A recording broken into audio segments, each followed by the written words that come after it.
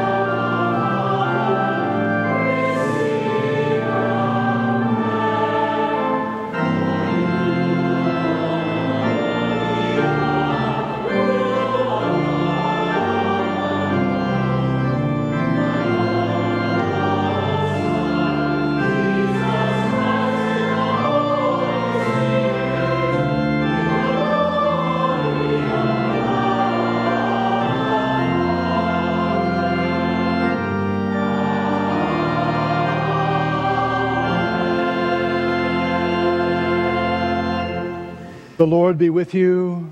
And also with you. Let us pray. Most high, omnipotent, good Lord, grant your people grace to renounce gladly the vanities of this world, that following the way of Blessed Francis, we may, for love of you, delight in your whole creation with perfectness of joy. Through Jesus Christ our Lord, who lives and reigns with you in the Holy Spirit, one God, forever and ever. Amen. Please be seated.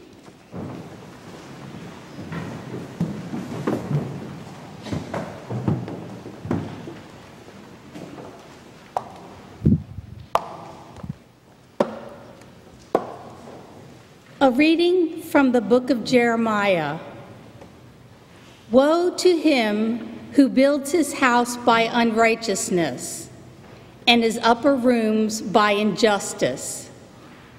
Who makes his neighbors work for nothing and does not give them their wages? Who says, I will build myself a spacious house with large upper rooms? and who cuts out windows for it, paneling it with cedar and painting it with vermilion. Are you a king because you compete in cedar? Did not your father eat and drink and do justice and righteousness? Then it was well with him. He judged the cause of the poor and the needy. Then it was well. Is not this to know me, says the Lord? Amen. The word of the Lord. Thanks be to God.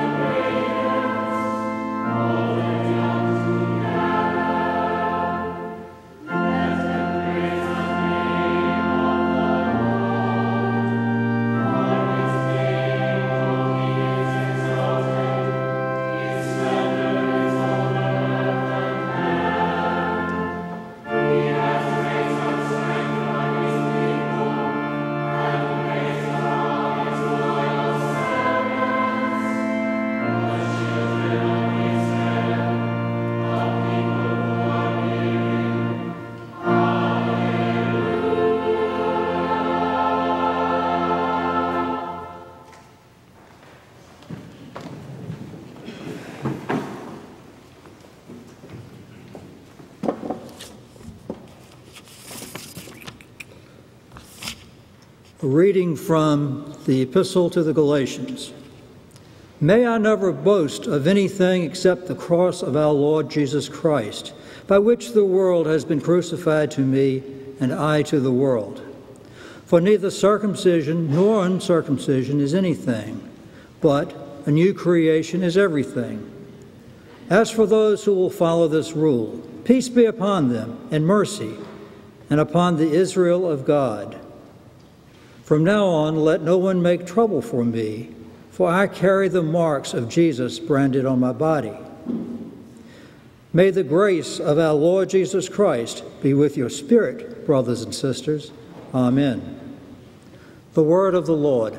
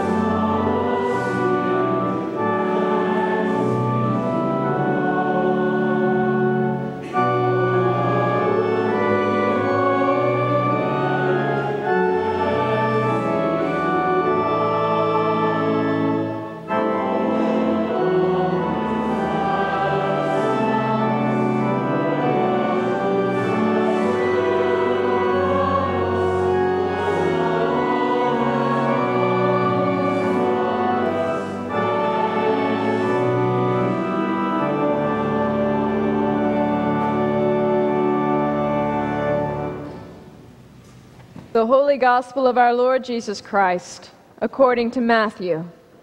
Glory to you, Lord Christ. Jesus said, I thank you, Father, Lord of heaven and earth, because you have hidden these things from the wise and the intelligent and have revealed them to infants. Yes, Father, for such was your gracious will. All things have been handed over to me by my Father. And no one knows the Son except the Father, and no one knows the Father except the Son, and anyone to whom the Son chooses to reveal him. Come to me, all you that are weary and are carrying heavy burdens, and I will give you rest. Take my yoke upon you and learn from me, for I am gentle and humble in heart, and you will find rest for your souls. For my yoke is easy and my burden is light. The Gospel of the Lord. Praise, Praise to you, Lord Christ.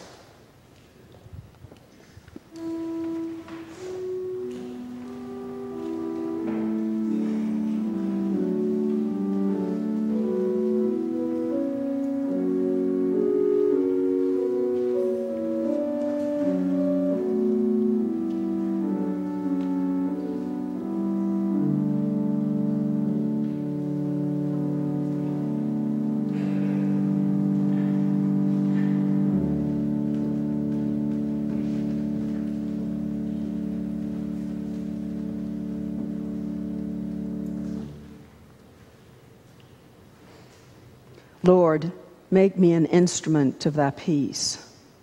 Where there is hatred, let me sow love. Amen.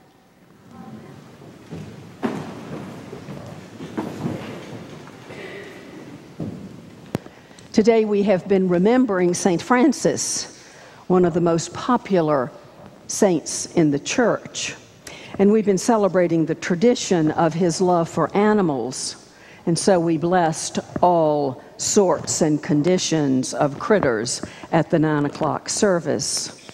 However, it seems to me that Francis's life was not about a sentimental love of nature, but a clear understanding of the interactive nature of creation, the mutual dependency and regard for all things. Francis and his followers celebrated the immanence of God, the presence of God, the nearness of God in all that is. Human beings were accounted for the rest, were responsible, accountable for the rest of creation, as mothers and fathers are accountable for their children's care and nurture. Treating the earth as an object, an it, over which we have power objectifies the earth. We think we do have power over it. And we think we have power over it and then treat our neighbors as though we have power over them. It is always the bully, isn't it? The one who has been bullied becomes the bully and comes home from school and kicks the dog power over relationships are always destructive relationships, and they always end up in violence. In Matthew chapter 11, from which the lesson for today is appointed, begins with John the Baptist sending his disciples out to ask Jesus, Are you the one that was to come? And Jesus responded, Go back and tell John what you are hearing and what you are seeing, that the blind can see, the lame can walk, and those who are weary and overburdened are strengthened and refreshed. Jesus' words Come to me, all who are weary and heavy burdened, and I will refresh you, reminds us that the incomparable, compassionate love of God is a gift that empowers us into life with God as responsible human beings who seek a deeper relationship with God and with one another. At the nine o'clock service, I had everybody that was there lean over and pet their critter that they had brought and say, I love you. And then I had them turn to their neighbors on either side and say, I love you. Now, why don't you do the same thing? Why don't you turn to your neighbor and tell your neighbor that you love them? Yeah, go ahead. You can do it. You can do it. It's the Episcopal Church, but we can do it. You see, the yoke that Jesus offered us is about sharing a load. It's about the hard work of living in covenant relationship with God and with our neighbor, reminding us that we are not alone. I do not come into this house of God alone. I do not offer my prayers alone, but in community with all of you. The burdens that I carry, I share with you, and you share your burdens with me. The rest that Jesus offered is not idleness or inactivity, kicking back or just hanging, but strengthening to carry out God's passion for justice. Justice which is rooted in respecting the dignity of every human being. Passion, which is seeing all persons in God's divine spirit, in the image of God, as we say, and living lives through which others are able to find God's peace and justice, which is not exacting revenge, but reestablishing relationship. I want to say that again because I think it's so important today. God's peace and God's justice is not about exacting revenge, but it is about reconnecting, reestablishing relationship. Francis of Assisi lived Jesus' command throughout his passionate love of creation. Francis was a simple man who lived in a time of war during the Fifth Crusade, as a matter of fact a time when those who were sick and dying had few that would take care of them. He is remembered for his love of people and of animals and the stars and the moon and the sun. He is remembered for stories about his care for the very sick, even the lepers, the birds, the animals, the way he tamed a wolf so that everyone in town was no longer afraid, but in fact very sad when the wolf died and was no longer there to feed every night. But Francis was most passionate about preaching the good news of Jesus. And this is reflected in his writings and his prayers and in the poetry that we still say and sing today. However, as Francis that is, Pope Francis, the first pope to take his name, has said, It is a mistake for us to sweeten Francis, to domesticate Francis, to leave him out in our gardens by the bird bath with the, with the birds resting on his shoulder. Francis was a humble man. He was known for his natural sweetness, but he was passionate passionate that we should love one another, passionate that we should love God through loving one another and all creation. He expressed his love of God through respect for the earth and all the critters, raising our awareness for God's call to us to be aware of our responsibility to the earth and all its richness, all the joy and the wonder the fellowship, and the delight that the critters and creatures and objects of creation bring to us. Francis's greatest gift, I believe, was his ability to see the face of Christ in everyone he met, whether a leper or a bishop, a Christian or a Muslim, a friend or a stranger. Seems to me I was preaching this same thing about Mother Teresa or Saint Teresa as she is now just a few weeks ago. But according to the tradition, St. Francis was told by God to repair my house, to transform the church because it had become corrupt in the 13th century.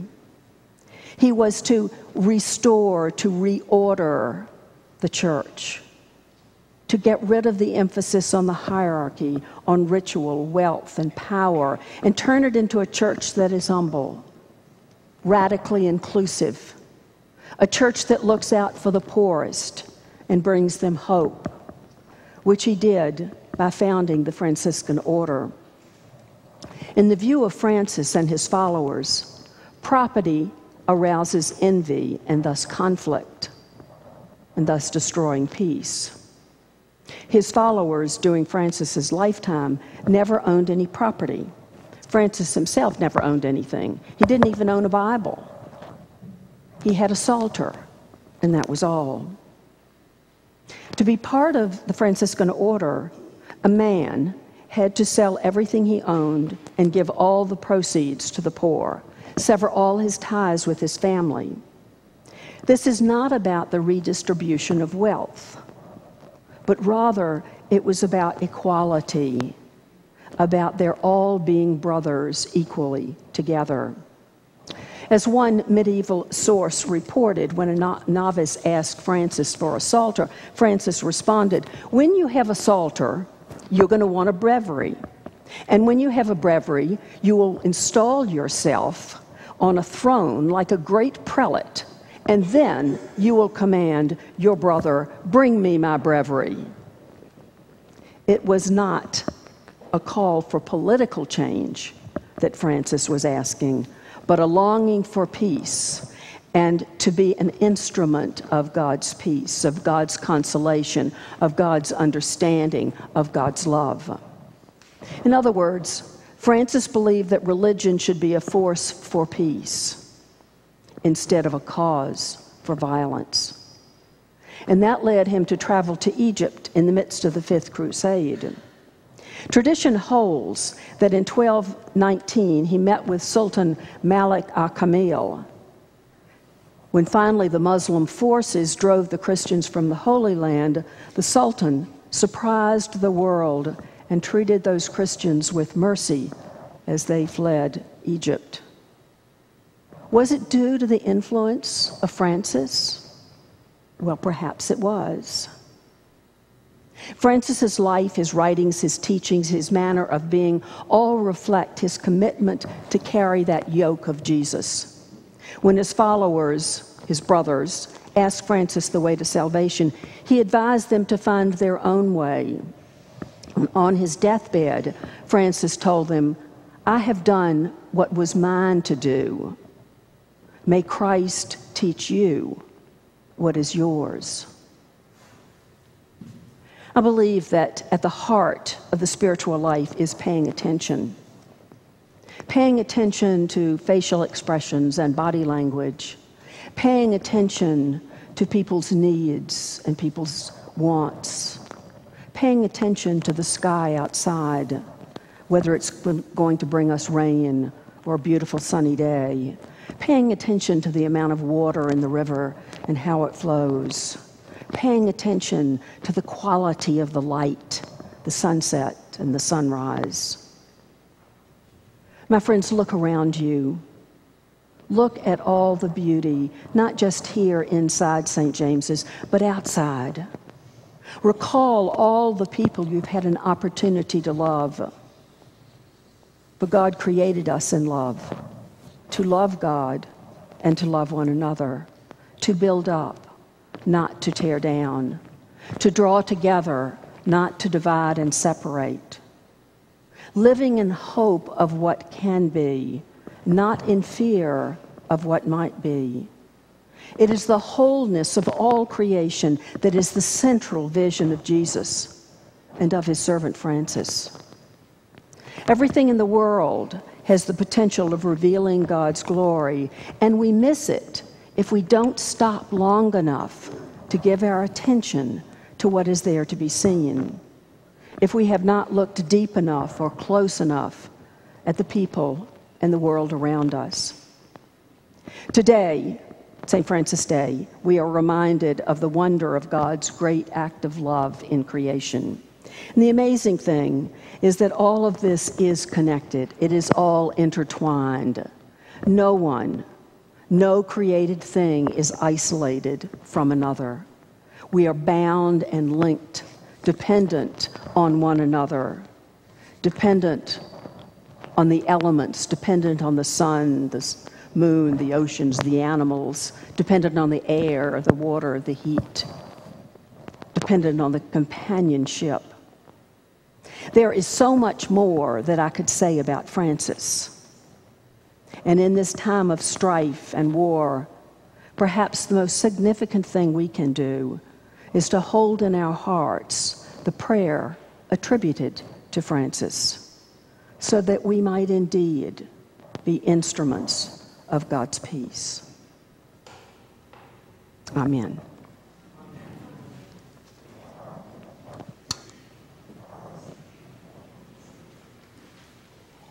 Let us stand now and join together in the affirmation of our faith in the words of the Nicene Creed.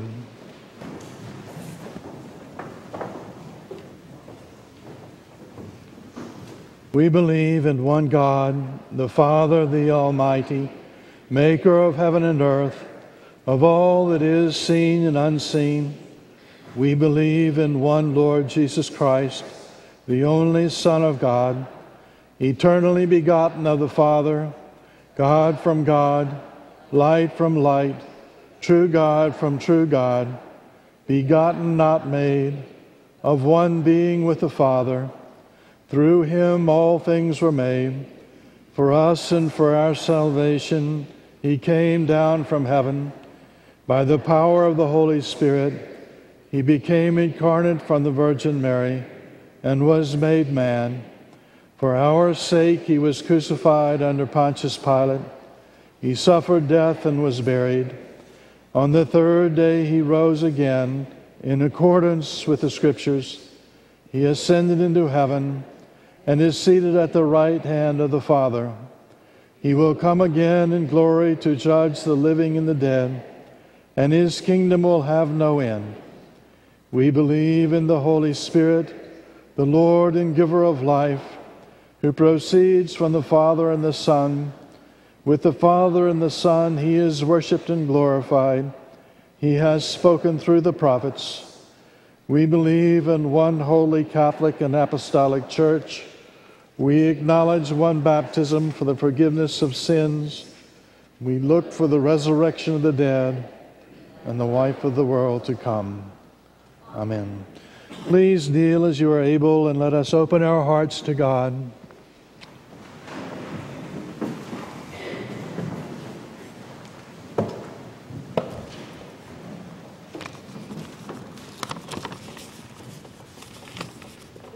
Father, we pray for your holy Catholic Church, that we all may be one. Grant that every member of the church may truly and humbly serve you. We pray for all bishops, priests, and deacons, that they may be faithful ministers of the word and sacraments.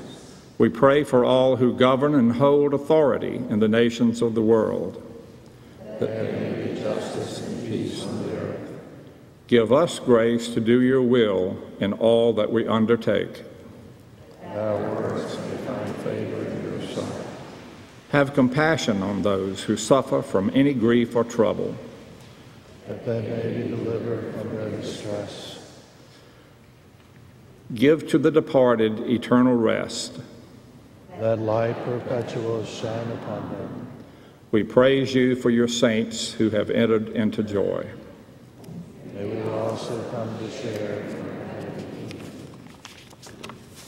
Please join me in lifting up to God those who have asked for our prayers. Bless Arthur, Doug Burgoyne, Joni Burgoyne, Margie Fleet, Mary Friend, Catherine Blast, Ernest Huffy, Andrew Lockhart, Jim Parkinson, Marvin Presson, Dan Prince, Tony Smith, Bishop Jack Spong, Jeb Stewart, Robert Trice, Joanne Van Schaik, Rosalie Vaughn, and Kendall. We pray also for Virginia Miller and for Judy Hart. We ask for your blessing upon the marriage of Meredith Manwaring and Ben Parrott, and on Keating Helfrich and Daniel Debelak, who were married here yesterday. We give thanks for the births of Case Andrews Roberts, son of Polly and Hunter Roberts, and grandson of Brooke and Bob Taylor, and for Charles Vaklovic, son of Ida and Alex Vaklovic, and grandson of Betsy and Winston Trice, who were born last week. We give thanks for the lives and ministries of all those in our parish who celebrate their birthdays this week and especially for Alice Spillman, Joe Willis, Jessica King, Berno Hamilton, Jane Candler, Susan Thurman, Ryan Acey, Garnet Hall, Kristen Mullins, Hinson Marvel, Jeb Bryan, Elise Druhut, Wally Jones, Anna Ray, and Patrick Fruth who celebrate their birthday today. In the sure and certain hope of the resurrection to eternal life, we remember Kaki Mays, Lori Rogers, and Ho Gronimus, and Robert Trice, who died recently. And for Mr. and Mrs. Herbert Worth Jackson, Jr., Ann Jackson Raglan, Herbert Worth Jackson III, and Catherine Kane, in whose memory the flowers at the altar are given. Gracious God, we know all things come from you. You provide for us because of your immense love. Undemanding, you ask for nothing. Waiting patiently for us to return only a portion of what we have been given all you want from us is that we give freely and always with love. In gratitude and thanksgiving, we pray. Amen. Let us confess our sins against God and our neighbor. Most merciful God, we confess that we have sinned against you in thought, word, and deed, by what we have done and by what we have left undone. We have not loved you with our whole heart. We have not loved our neighbors as ourselves. We are truly sorry and we humbly repent. For the sake of your Son, Jesus Christ, have mercy on us and forgive us, that we may delight in your will and walk in your ways to the glory of your name. Amen.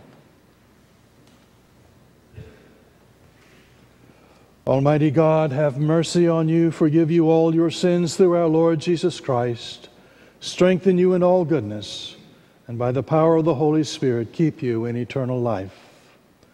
Amen.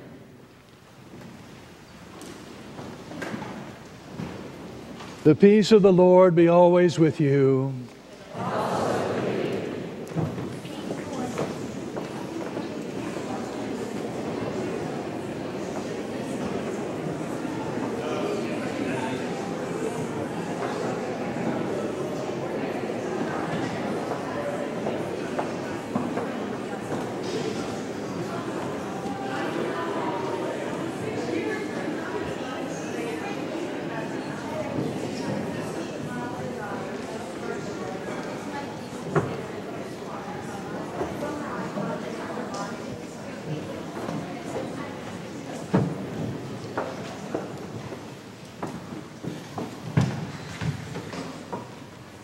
Good morning. Let me welcome you here to our uh, service this morning. Thank you for being here. If you are new to uh, St. James, uh, please, before you go uh, uh, away this morning, if you'd look in the pew holder in front of you, you'll see a card, um, which we'd like to ask you to fill out if you would and put in the offering plate as it comes by so we can uh, get to know you better as, as time goes on. So thank you ahead of time for that. There are, as always, uh, a slew of announcements in our chimes, and we really rely on um, one another to pay attention to all of those announcements. And if you can, take it home with you and uh, read it as you're able so that uh, when an opportunity comes around to participate in something that you feel will be rewarding and, and helpful to you in your, in your journey, you'll know where it is and how to uh, make contact with the people that are, are working on that. I do want to uh, um, hold up for you the fact that next, next Sunday is going to be a little bit different here um, at St. James in a happy and a good way. The uh, 9 o'clock service is going to be a, a bluegrass mass, and um, the jazz mass, which was being held every Sunday during the summer, is being uh, celebrated uh, one time a month this uh, during the program year, and this next Sunday, the jazz mass will be at 5:30 in Valentine Hall. If you've not signed up for the um, October 5th uh, St. James retreat at Shrinemont, I hope you'll do that. Um, I, have said before, and I'll say it again, I've never met anyone who signed up for that retreat to go to Shrinemont from any congregation that I've ever served that ever regretted it. So um, you might consider that if you've not already done that.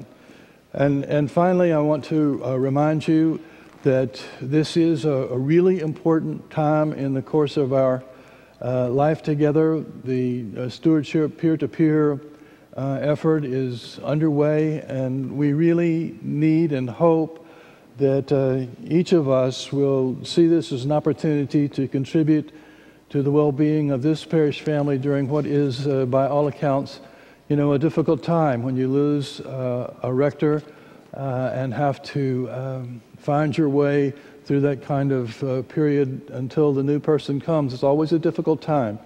So please, uh, please think about that and do what you are able to uh, support us in this uh, transition year. Walk in love as Christ loved us and gave himself for us, an offering and a sacrifice to God. Thank you.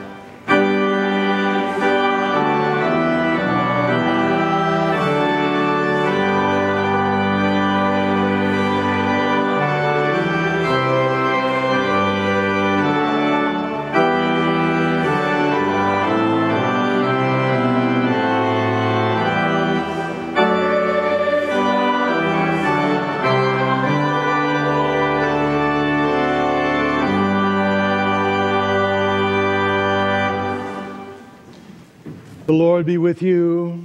And also with you. Lift up your hearts. Let us give thanks to the Lord our God. It is right.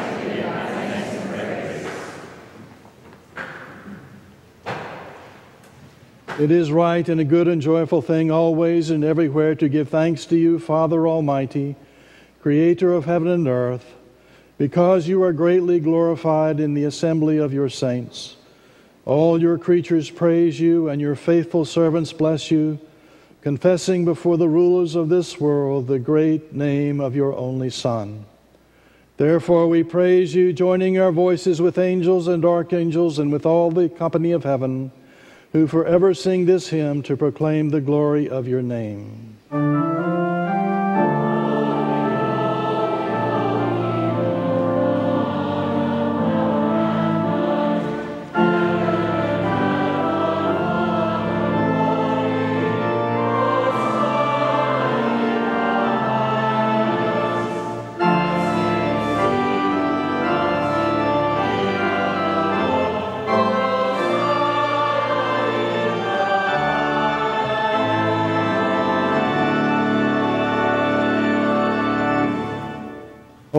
Gracious Father, in your infinite love, you made us for yourself. And when we had fallen into sin and become subject to evil and death, you, in your mercy, sent Jesus Christ, your only and eternal Son, to share our human nature, to live and die as one of us, to reconcile us to you, the God and Father of all. He stretched out his arms upon the cross and offered himself in obedience to your will a perfect sacrifice for the whole world. On the night he was handed over to suffering and death, our Lord Jesus Christ took bread, and when he had given thanks to you, he broke it and gave it to his disciples and said, Take, eat, this is my body which is given for you. Do this for the remembrance of me. After supper, he took the cup of wine, and when he had given thanks, he gave it to them and said, Drink this, all of you. This is my blood of the new covenant, which is shed for you and for many for the forgiveness of sins. Whenever you drink it, do this for the remembrance of me.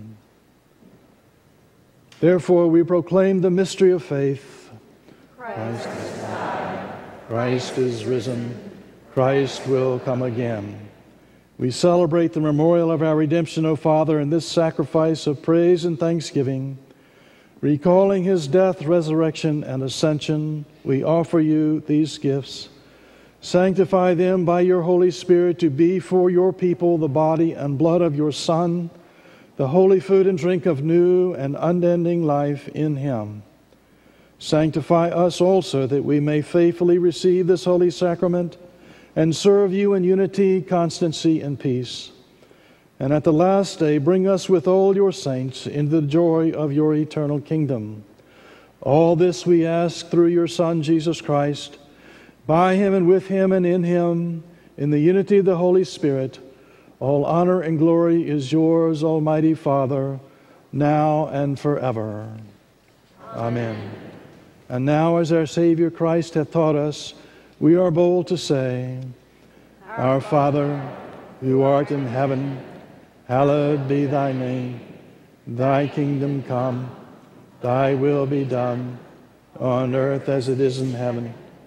Give us this day our daily bread, and forgive us our trespasses, as we forgive those who trespass against us. And lead us not into temptation, but deliver us from evil. For thine is the kingdom, and the power, and the glory, forever and ever. Amen.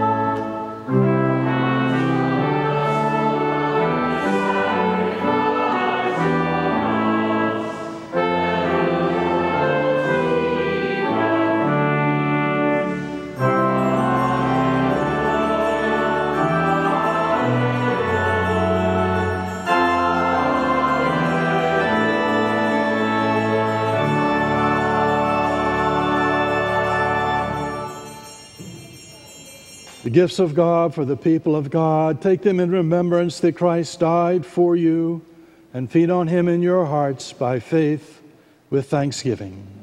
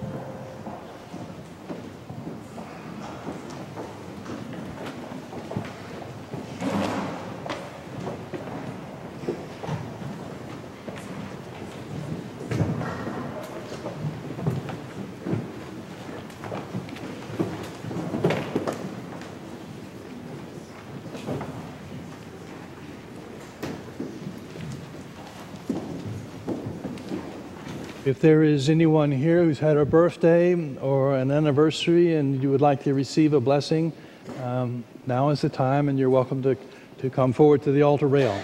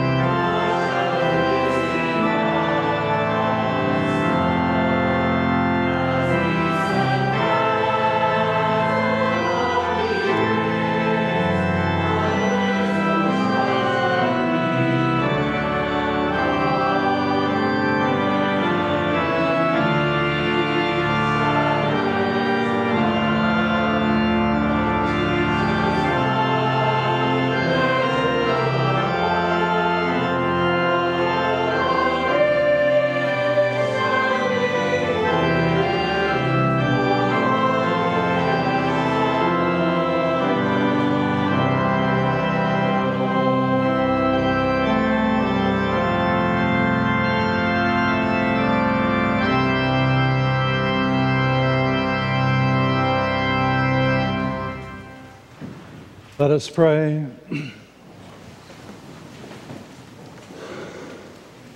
Eternal God, Heavenly Father, you have graciously accepted us as living members of your Son, our Savior, Jesus Christ, and you have fed us with spiritual food in the sacrament of his body and blood.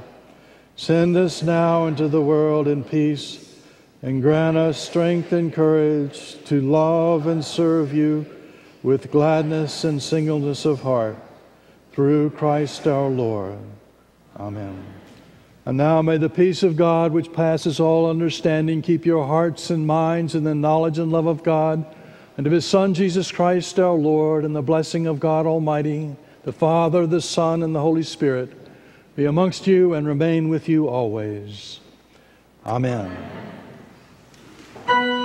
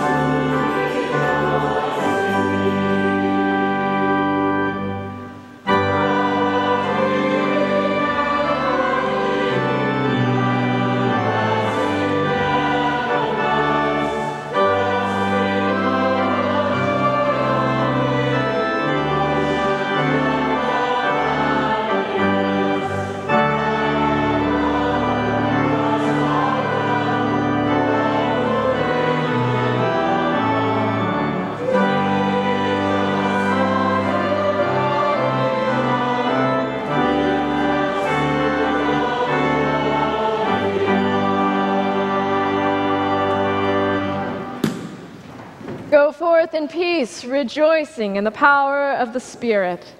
Thanks.